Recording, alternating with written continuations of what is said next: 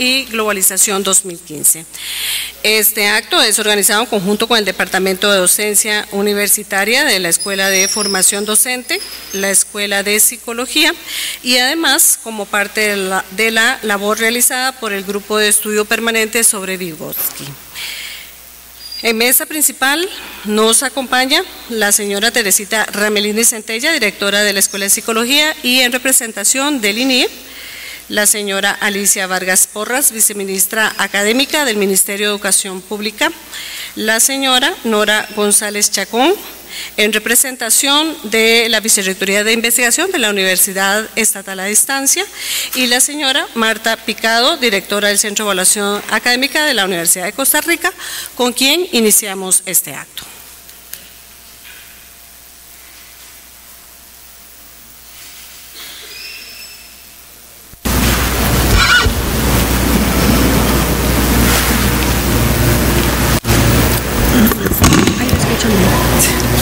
Muy buenos días.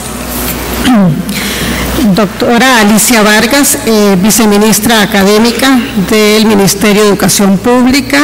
Doctora Teresita Ramelini, directora de la Escuela de Psicología y directora del INIE.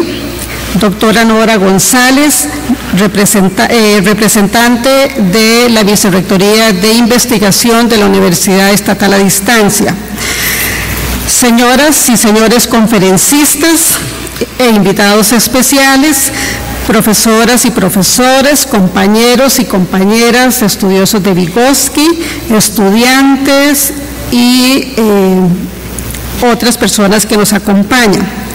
Es un gusto para la Universidad de Costa Rica y especialmente para el Centro de Evaluación Académica de la Vicerrectoría de Docencia tener esta actividad en relación con Vygotsky y su legado en la investigación en América Latina, por varias razones. Primero, porque es una actividad de carácter interdisciplinario, en donde dos unidades académicas, la Escuela de Formación Docente y la Escuela de Psicología, unen sus esfuerzos en un proyecto de acción social que se vincula a la docencia y a la investigación.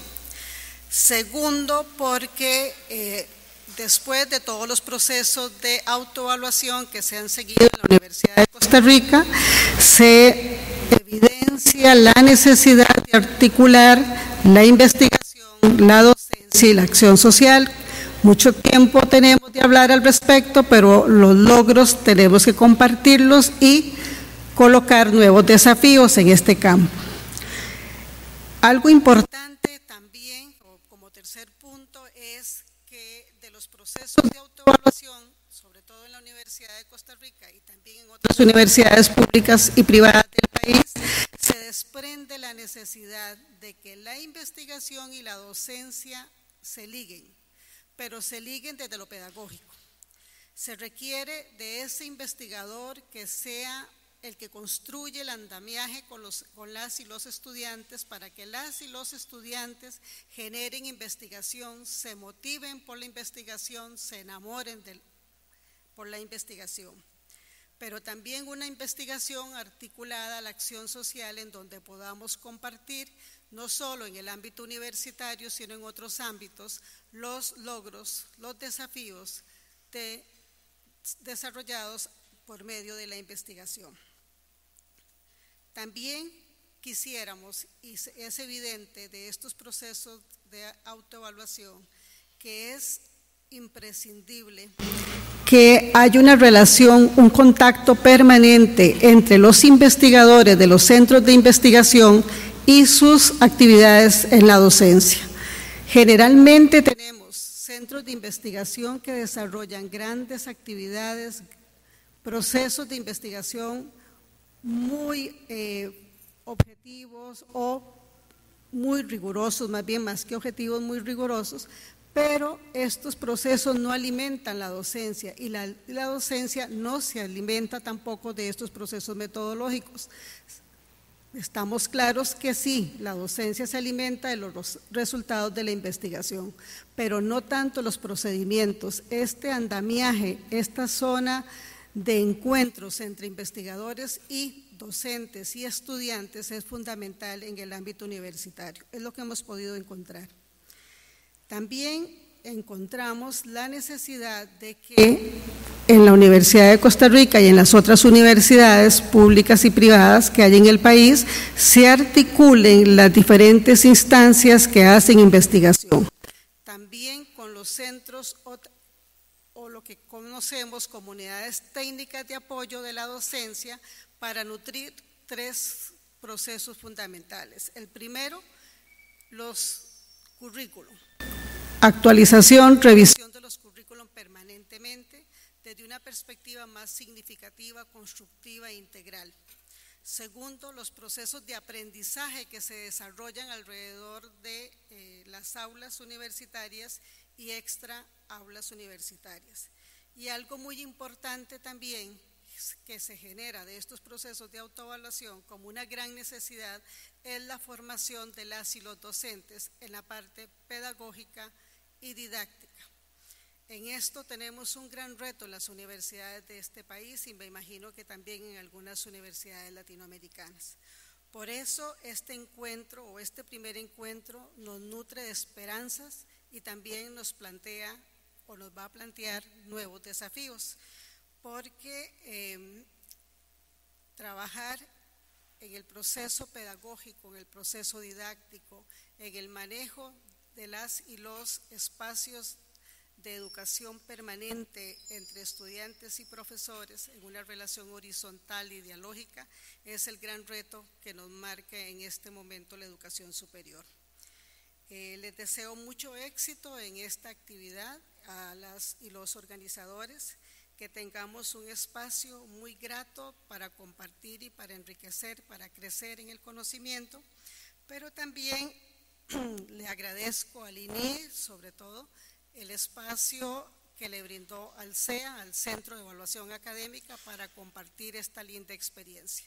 Muchísimas gracias y bienvenidos a las y los extranjeros también. Gracias.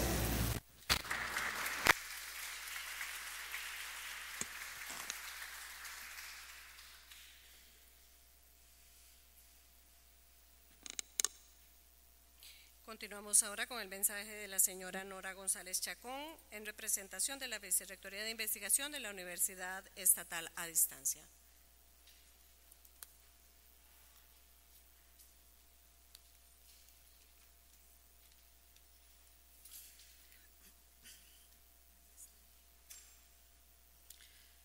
Buenos días, señora doctora Alicia Vargas, viceministra de Educación, señoras de la mesa principal que representan diferentes instancias de las universidades, eh, personas invitadas, investigadoras, público en general. El primer encuentro Vygotsky y su legado en la investigación en América Latina, que tendrá lugar los días 22 y 23 de septiembre del año 2014, es posible gracias al trabajo conjunto que han desarrollado el Instituto de Investigación en Educación, el INIE, y el Centro de Evaluación Académica SEA de la Universidad de Costa Rica, el programa Agenda Joven y el programa de investigación de fundamentos de la educación a distancia PROIFED, ambos de la Universidad Estatal a Distancia, el programa de alfabetización crítica de la Universidad Nacional, la Agenda Ciudadana por la Educación, capítulo nacional de la campaña latinoamericana por el derecho a la educación, el Consejo Nacional de Rehabilitación y Educación Especial. Es un gusto para todas estas instituciones darles una muy calurosa bienvenida y expresar su más profundo deseo para que al terminar estos dos días de diálogo y construcción hayamos identificado una agenda de acciones concretas que reivindiquen el derecho a la educación y con ello la dignidad humana de quienes no pueden disfrutar de los beneficios del ejercicio de este derecho, sea porque sus condiciones materiales no se lo permitan, sea porque los gobiernos la ven como un gasto y no como una inversión, y es un derecho humano. Tendremos interesantes exposiciones de fondo de temas como investigación educativa, evaluación y acreditación, contextos socioculturales y transformación social, enseñanza, aprendizaje, derechos humanos y equidad educativa, mercantilización de la educación, educación en la sociedad de la información y el conocimiento, poblaciones y grupos y vulnerabilidades y potencialidades educativas, redes de comunicación educativa. Todos estos temas los discutiremos arduamente en el transcurso de estos dos días. No solo los discutiremos y analizaremos, temáticos que nos ayudarán a guiar la discusión, por lo que opté para esta presentación traer la voz de las personas jóvenes latinoamericanas y presentarles rápidamente lo que un grupo de ellos propuso en materia de educación. El programa Agenda Joven de la UNED en julio pasado organizó el curso internacional Valores y Prácticas Democráticas para el Liderazgo Joven. En este participaron 40 jóvenes en un promedio de edad de 23 años provenientes de Nicaragua, Honduras, El Salvador, Panamá, República Dominicana, Costa Rica y Colombia. Un resultado del mismo fue la elaboración de lo que ellos llamaron una declaración de compromiso, mediante la cual identificaron los problemas que les acarrea una educación sin calidad y la exclusión del sistema educativo. Los resultados más importantes de esta declaración de compromiso fueron los siguientes. Sobre el proceso educativo señalan que es excluyente de un alto porcentaje de personas, ya que ninguna persona debería quedar fuera de este sistema. Señalan que la formación docente es deficiente, que los currículums son descontextualizados de la realidad política, social, económica y cultural de la región no se educa para promover un pensamiento crítico ni científico, ni en el desarrollo de destrezas para el, acceso primero y el uso después de las TICs, ni tampoco para vivir en armonía con la naturaleza. Consecuentemente, la educación no les asegura trabajo ni una vida digna a la gran mayoría, o por lo menos algunos que quedan excluidos hicieron un énfasis importante en el papel de los gobiernos locales como canalizadores e impulsores del desarrollo. Sobre las políticas públicas hacia juventud, señalaron que mucha de la inversión económica hacia la eh, juventud se contabiliza por lo que se invierte en educación con las características descritas y no hay perspectiva intergeneracional a la hora de definirlas. Señalan que se plantean programas puntuales en algunos casos que no resuelven el problema de fondo. Finalmente concluyen que si no se educa en cultura, en arte, no será posible disminuir la violencia en las comunidades. Pareciera ser entonces que en nuestras sociedades occidentales latinoamericanas la racionalidad instrumental se instala en las estructuras de poder para desplegarse de manera grosera, excluyente e incluyente al mismo tiempo y no tiene como norte la felicidad. Hay una estructura formal que se articula desde el Estado y que a manera de red intenta ordenar de manera eficiente los componentes políticos, sociales, económicos y culturales para garantizar la eficacia, el trabajo, la estabilidad, la eficiencia y la educación se transforma en una herramienta de diseño para esta eficiencia, no en una herramienta para promover la integralidad del ser humano. Un reflejo de este proceso de estandarización educativa se ve en la rigidez de las evaluaciones sumativas de un proceso de enseñanza-aprendizaje jerárquico, individualista, memorístico, que no promueve pensamiento crítico ni enseña a identificar y resolver problemas de lo cotidiano, a ubicar la información para resolver ese problema. No les enseña tampoco el trabajo colaborativo las mentes que tienen otras competencias analíticas difícilmente encajan en este sistema que rápidamente los expulsa y estigmatiza. Yo me pregunto, ¿puede haber felicidad en un ser humano o en un colectivo de ellos si en comparación a otros pares se le negó la felicidad de tener al menos un mejor lenguaje con el cual pensar, criticar y problematizar el mundo en el que vive? Puede haber felicidad en una sociedad sin arte, sin música, sin poesía, sin poemas, sin lenguaje. ¿Educar para qué? ¿Qué debemos hacer y a qué debemos comprometernos? Buenos días.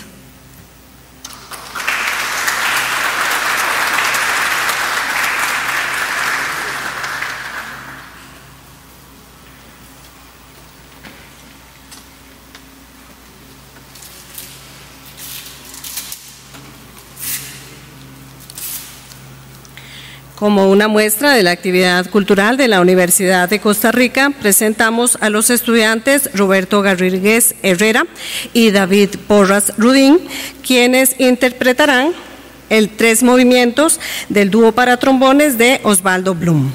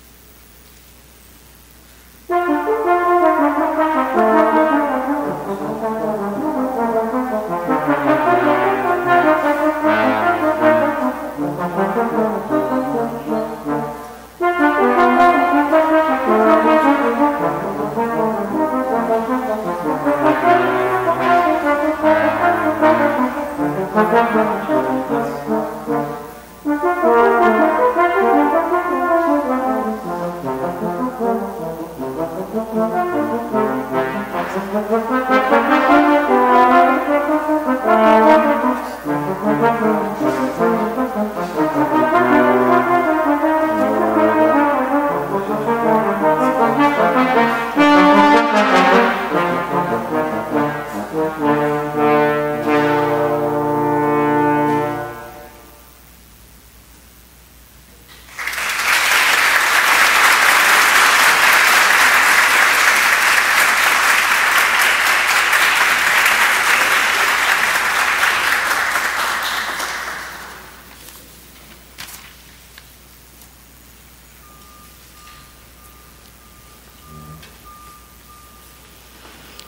Agradecemos a los estudiantes Roberto Garríguez Herrera y David Porras Rudín por compartir su arte con nuestro auditorio. Seguidamente escuchamos el mensaje de la señora Alicia Vargas Porras, viceministra académica del Ministerio de Educación Pública.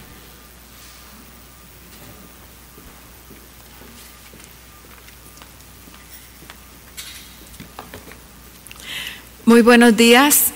Me complace mucho estar de nuevo en esta alma mater tan querida para mí, compartiendo con ustedes en este evento eh, tan importante para la educación costarricense.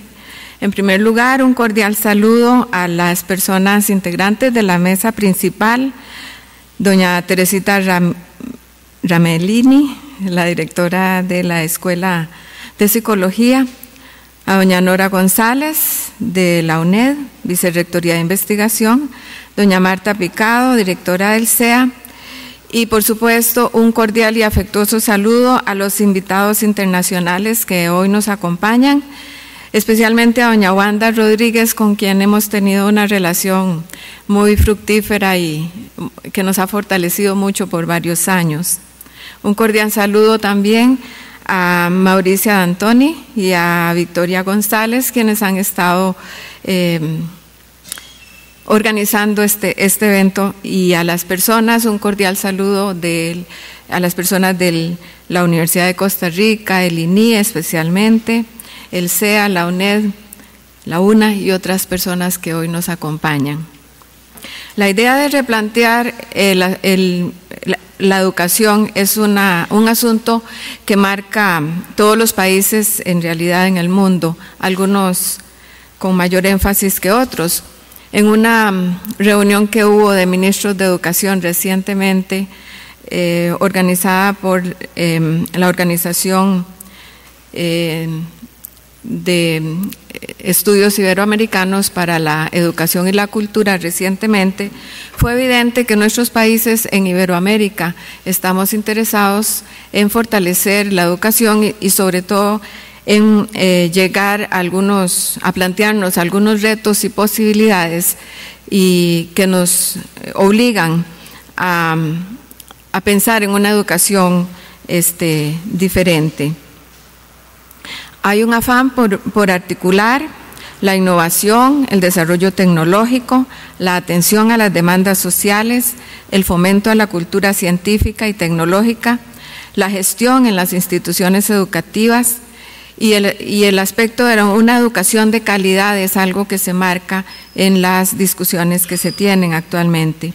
Pero esta educación de calidad es una educación que debe estar orientada hacia la formación para la ciudadanía, con miradas mundiales en donde se sumen personas solidarias, críticas, creativas, autónomas, responsables y proactivas.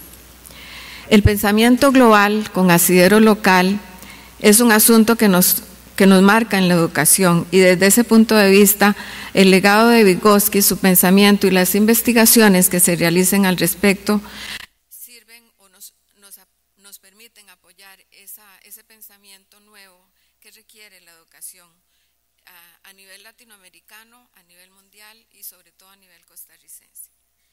Vinculado a la que han provocado las tecnologías de la información y la comunicación, tenemos un pensamiento global que nos marca profundamente. La preparación de personas que comprendan su paso por un mundo que existe más allá de las fronteras es fundamental. Esto toca asuntos culturales y las dinámicas mundiales inciden directamente en nuestro diario quehacer y en las decisiones que tomemos, las cuales muchas veces podrán tener incidencia más allá de nuestras fronteras.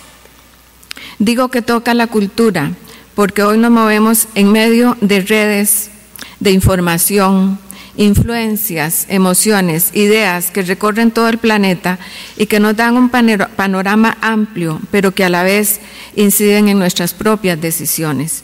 Por ello, la lectura que hagamos de esas realidades mundiales diversas, tenemos que hacerla desde nuestro asidero local, es muy importante entonces pensar la educación desde nuestra idiosincrasia, nuestros propios valores y nuestro interés como nación, de tal manera que se fortalezca primordialmente nuestro país. Ya hemos visto cómo a través de los tratados de libre comercio se, desarticulan redes de cooperativas, sistemas de agro, industrias nacionales, protecciones ambientales y se tiende a desvanecer nuestra cultura para privilegiar otros pensamientos que provocan la identificación con los espacios transnacionales por encima de nuestro propio beneficio. Esto ha provocado una escandalosa y acelerada concentración de riqueza a nivel mundial y nacional, cada vez en menos manos y un empobrecimiento de la gran mayoría de las poblaciones. Por ello, en la educación debemos preparar para la ciudadanía mundial, pero con arraigo nacional lo cual implica analizar críticamente y poner en su justa dimensión los intereses que mueven las acciones deseadas o desarrolladas en los ámbitos globales y nacionales y las implicaciones que esto tiene para la población mundial. Estamos en Costa Rica abocados a una nueva visión, a una nueva mirada de la educación. Eh, Aquí confluyen los resultados de investigaciones realizadas para construir eh, un desarrollo en nuestro país sustentado en una ciudadanía más justa, solidaria, equitativa y con ese asidero local y nacional que nos permita incursionar proactivamente en un ámbito mundial. Esperamos los resultados de, este, de, esta, de esta actividad que hoy nos convoca para fortalecer ese desarrollo nacional que queremos este, unir esfuerzos en nuestro país. Muchas gracias.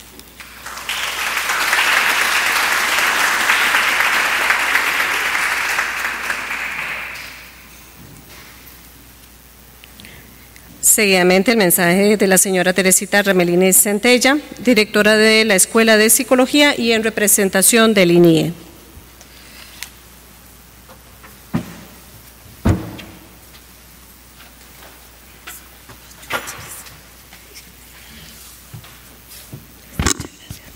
Muy buenos días, compañeras de la mesa, doña Alicia Vargas, doña Nora González, doña Marta Picado, invitadas e invitados internacionales, compañeras y compañeros universitarios, señoras y señores.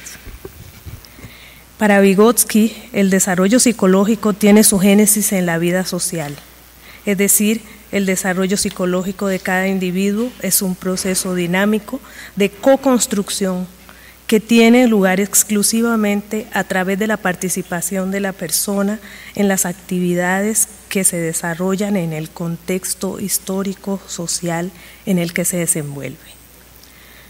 Desde la perspectiva histórico-cultural de Vygotsky, el desarrollo está necesariamente mediado por las relaciones sociales e impregnado por las coordenadas históricas, geográficas, culturales y personales que hacen a cada individuo una persona diferente, única e irrepetible en el mundo.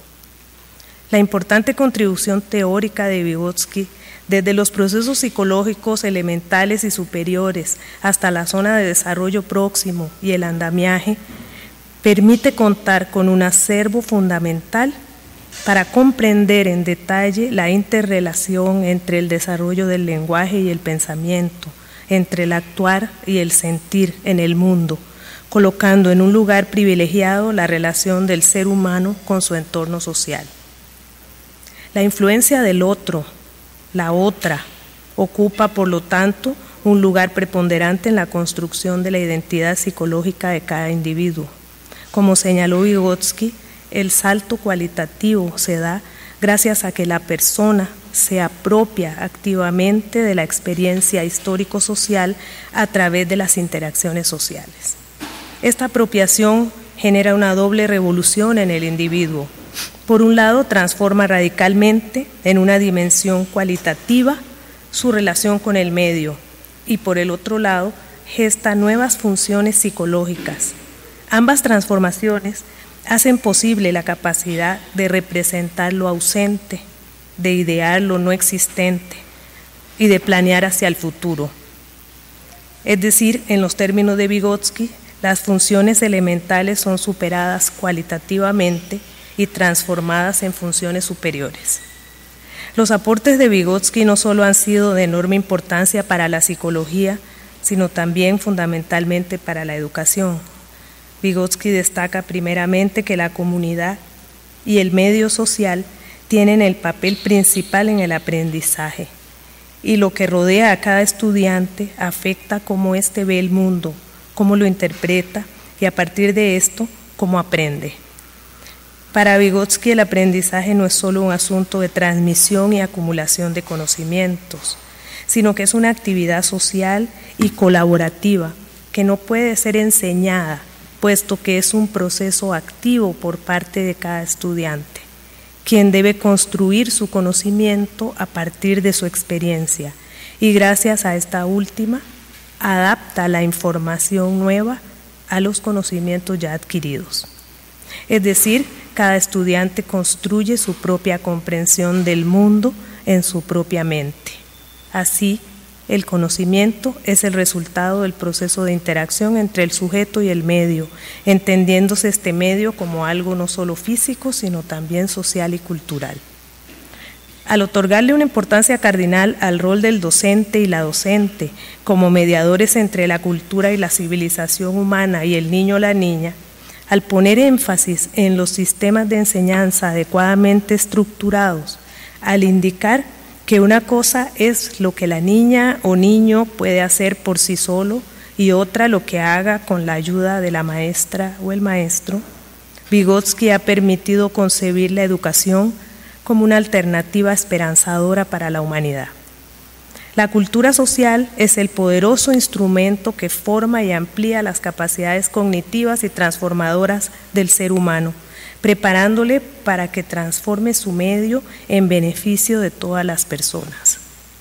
Realizar un encuentro dedicado a Lev Vygotsky, uno de los más destacados teóricos de la psicología del desarrollo y fundador de la psicología histórico-cultural, es un gran acierto especialmente en estos momentos en que es indispensable asegurar la construcción del que, la, que la construcción del conocimiento cuente con amplio debate entre las distintas teorías y formas de concebir la subjetividad.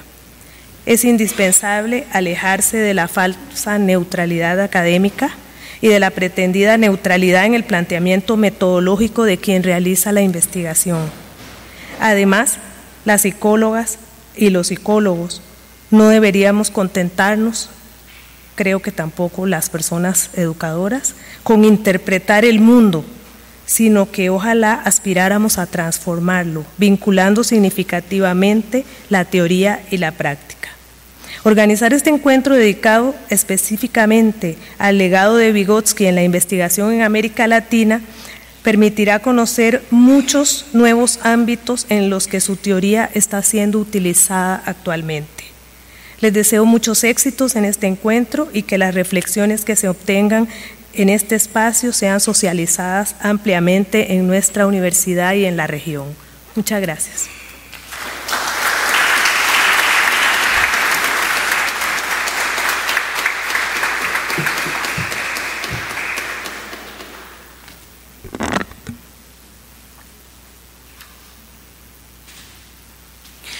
Finalizamos este acto. Agradecemos a las señoras miembros de la mesa principal sus palabras, a ustedes su atención y presencia. Les recordamos que posteriormente estaremos iniciando con la conferencia denominada El estado actual de la investigación histórico, cultural y su vinculación con el legado Vygotsky, impartida por la señora Wanda Rodríguez Arrocho. Ahora les solicito pasar a tomar un refrigerio ubicado en el entrepiso de este edificio. Que tengan muy buenos días y de nuevo muchas gracias.